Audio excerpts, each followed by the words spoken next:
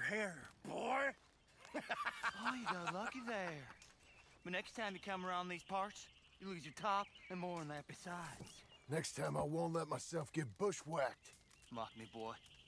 You weren't so brave a minute ago. Boo!